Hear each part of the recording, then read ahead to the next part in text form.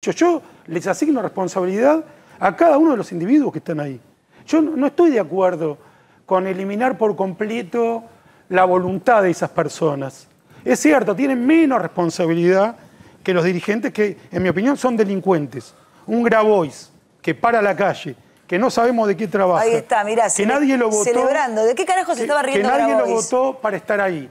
El que lo acompaña. ¿Y qué, esa, gente que usa a los pobres para extorsionar.